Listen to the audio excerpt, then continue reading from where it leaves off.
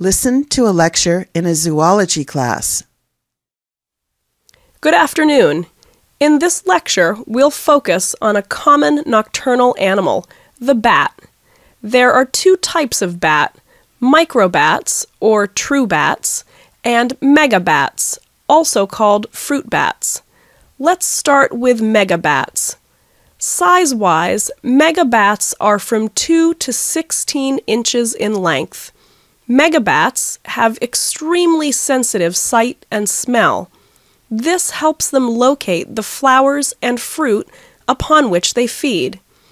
It is while eating that megabats play an important role in the distribution of plants. Like bees, megabats serve as pollinators. When they lick nectar or eat flowers, their bodies become covered in pollen, which they, in turn, carry to other trees and plants, thereby acting as pollinators. In fact, many of the fruits and vegetables on our tables, such as bananas and peaches, would not be there if megabats did not pollinate plants and trees. Next are microbats. As the name implies, microbats are quite small, about the size of a mouse. To find food, microbats use echolocation, high frequency sounds they bounce off insects. The most common microbat is the vesper, or evening bat. Like megabats, microbats play an important role in the environment. The average vesper bat, for example, can eat 1,000 mosquitoes in one night. By doing so, they control the mosquito population.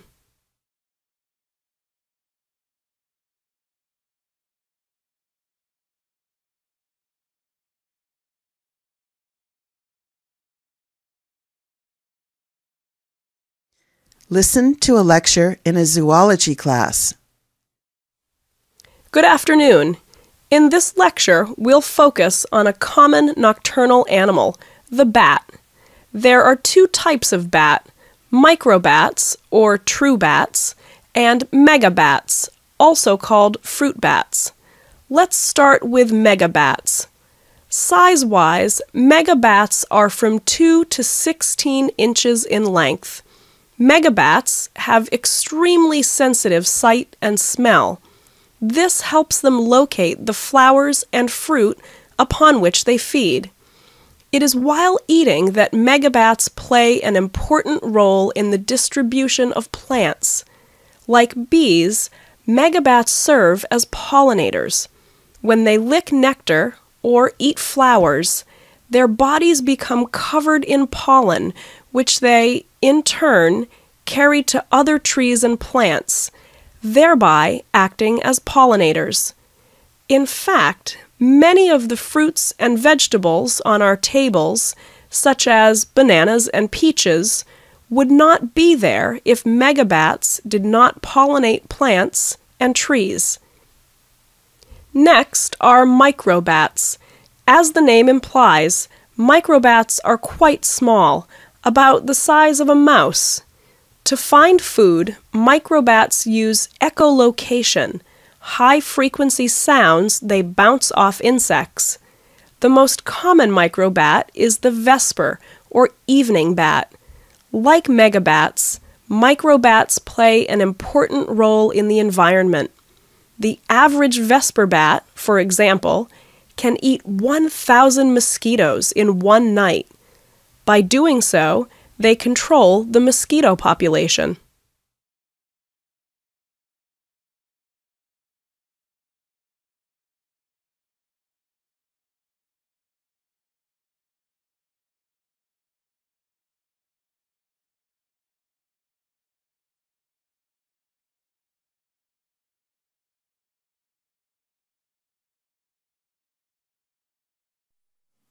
Task 1 Listen to a lecture in a marine biology class. No other animal instills as much fear in man as does the shark. And no other shark is more widely feared than the great white. However, despite Hollywood's best efforts, experts do not consider the great white to be the most dangerous shark in the world. That label goes to the bull shark. The bull shark, also known as the whaler shark, gets its name from its stocky body, flat nose, and aggressive behavior. Bull sharks can reach a length of six and a half feet and are commonly found patrolling shorelines near populated areas. They will eat anything that comes their way, including garbage and other sharks. What makes the bull sharks so aggressive is that their bodies contain more testosterone than any other animal on the planet, even more than lions and tigers. This makes them arguably the most aggressive predator on the planet. But it doesn't stop there. Bull sharks thrive in any kind of water, including freshwater. Scientists have found bull sharks thousands of miles up the Amazon and as far up the Mississippi River as Illinois. In Nicaragua, bull sharks have even been seen jumping rapids like salmon to get upstream. In Australia, a bull shark traveled 80 miles up an inland waterway system and killed a swimmer. Bull sharks are apex predators with most human deaths attributed to them. So, what are your chances of being attacked by a bull shark? Not very good, I'm afraid. In fact, more people die every year from falling coconuts than from shark attacks. Remember that the next time you're on vacation, sitting under a coconut tree and worrying about whether to go into that beautiful clear blue water or not. Task 2 Listen to a lecture in an American film class. One movie strongly influenced by the Western is Star Wars. When it was first released in May 1977, Star Wars was a huge international hit. With its big screen effects, Star Wars gave us space as we'd never seen it before. However, despite Star Wars' futuristic look, it still has one foot planted firmly in the past, namely the Hollywood Western. Perhaps the most obvious way Star Wars borrows from the Western is the distinction between good and evil. In early Westerns, the bad guys always wore black hats, while the good guys always wore white hats. In Star Wars, director George Lucas puts these tried and true symbols to work. The bad guys, led by Darth Vader, are all in black, while Luke Skywalker and Princess Leia, both rebels in their own right, are dressed in white. The storyline, too, borrows heavily from the Western. A popular Western theme is the kidnapping of a beautiful white maiden by savage Indians. This is exactly what happens in Star Wars. Princess Leia is captured, not by Indians, but by Darth Vader, a metaphorical Indian chief whose village, the Death Star, is a seemingly impenetrable fortress in which Princess Leia is being held. The rescue of Princess Leia is another way that Star Wars borrows heavily from the Western. In Hollywood Westerns, the kidnapped maiden is always rescued in the end with the Indians all dead and the good guys returning to the safety of their own land. This is exactly what happens in Star Wars. With Luke Skywalker leading the rebel force, he frees Princess Leia, and together she and Luke are honored as heroes in their homeland. In the end, Luke Skywalker and Princess Leia are unerring symbols of good conquering evil a civilizing force, and an otherwise savage new frontier called space.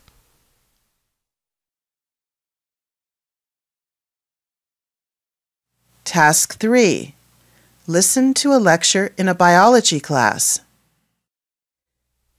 Everyone knows Charles Darwin as the man who wrote On the Origin of Species. On the Origin of Species sold well in Darwin's lifetime However, it did not sell as well as another popular Darwin book. That book, published in 1881, is titled The Formation of Vegetable Mold Through the Action of Worms, with observations on their habits. With the publication of this book, Darwin revolutionized soil and agricultural science. Let's take a brief look at how he did it. As a boy growing up in rural England, Darwin was fascinated by earthworms. While most people saw earthworms as an ugly, useless nuisance, Darwin realized their value through a series of experiments. However, his research was overtaken by the writing of On the Origin of Species. Later in life, Darwin returned to his study of earthworms and proved that earthworms were not useless pests, but in fact played a crucial role in maintaining healthy soil. Darwin observed that earthworms were busy at work turning over the soil by eating it and excreting it. The turning of soil allowed water to penetrate more deeply and allowed more oxygen to enter the ground while the fertilizing added nutrients. Darwin proved the earthworm's value by doing a simple experiment. In a field near his house, Darwin scattered small pieces of coal. In time, the earthworms had moved so much soil that the pieces of coal had settled deep in the soil, proving that the worms were indeed at work turning the soil. With this discovery, Darwin proved that the common earthworm was not a pest, but an essential part of the agricultural process. Task 4 Listen to a lecture in a sociology class. On December 11th, 2008, the business world was rocked by news no one could believe. Even now, people are still shaking their heads. On that December day, Bernard L. Madoff was arrested for securities fraud. Madoff freely confessed that his private investment fund was in fact a Ponzi scheme, a criminal enterprise in which Madoff took money from one party and instead of investing it as promised, gave it to another party while taking a cut in the process. Ponzi schemes are nothing new. However, the size of Madoff's Ponzi scheme made it the biggest financial fraud in history. All told, Madoff stole close to $50 billion from investors worldwide. In the process, Madoff destroyed thousands of lives, including those of Hollywood movie stars and European nobility.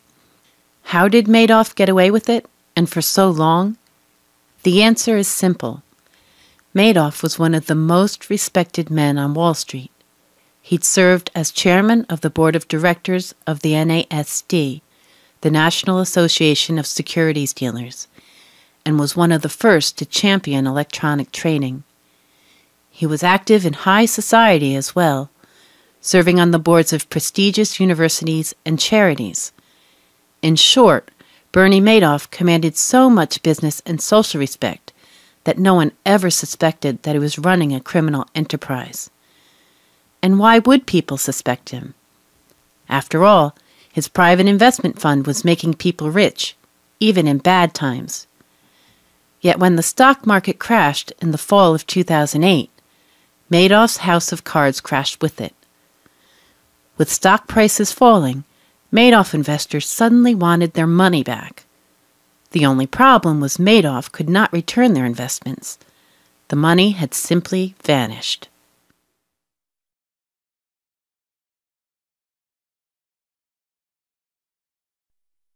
Task 5 Listen to a lecture in an astronomy class.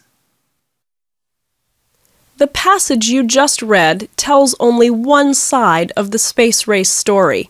What it doesn't mention is that in man's race to conquer space, man created a huge problem with no apparent solution. That problem is space junk. At last count, there were over 10,000 man made objects in low Earth orbit, including cameras, tools, toothbrushes, and bags of garbage. What worries scientists most is the larger pieces of space junk such as satellites. When big pieces of space junk collide, they literally explode. This, in turn, creates thousands of smaller pieces of junk, all of which are orbiting the Earth at more than 17,000 miles an hour. Combined, these smaller pieces of space junk create a corrosive effect when they hit other objects, much like sandblasting the side of a building. This rain of space junk can seriously damage not only operating satellites, but it is also a threat to all space flights, manned or otherwise. It has been estimated that the space shuttle's chance of hitting a piece of space junk and suffering a catastrophic impact is 1 in 185. To prevent space junk from penetrating it, the International Space Station has been fitted with armored walls. The ever increasing problem of space junk has become known as the Kessler syndrome. Donald Kessler, a NASA scientist, describes a scenario in which there is so much space junk colliding and dividing that one day it will be too dangerous for man to travel into space. In other words, the garbage orbiting the Earth will destroy anyone and anything that tries to enter it.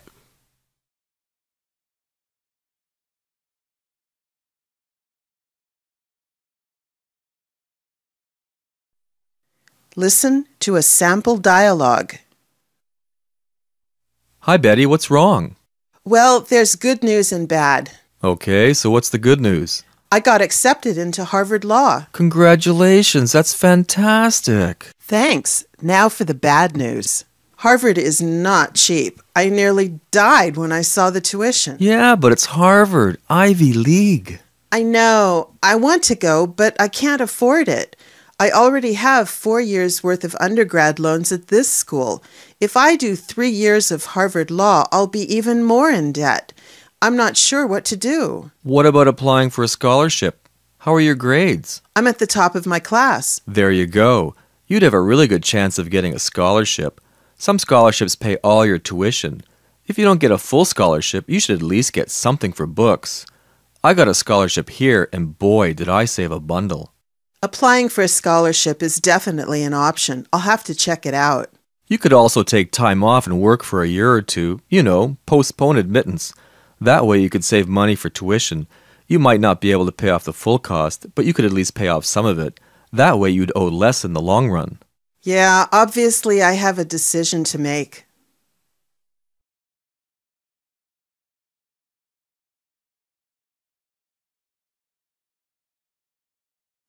Listen to a sample dialogue. Professor Morrison? Hi, Sue. Come in. What's up? I just wanted to remind you of the meeting tonight in Anderson Hall. Meeting? What meeting? The Environmental Club meeting? You said you'd come and give a talk about winning the National Science Prize. Tonight? Oh, no. I promised the Biology Club I'd speak to them tonight in Farnell Hall. I see. But we're expecting a big crowd. We've been advertising it all month. We even sold tickets to raise money. I guess I'll just have to refund them. Look, maybe we can work something out. You know, I could always record my talk to the Biology Club, then email you the file. That way you could present my talk to your group at your convenience. Yeah, that would work. Also, I'm part of a lecture tomorrow night over at Gethin Jones Hall. The topic is ethics and nanoengineering. You have to buy tickets, but since I'm speaking, I'm sure I can get you and your group in free. I'd be willing to stay after and answer questions about the prize. What do you think? That's a possibility, too. Let me talk to my group first and see what they say.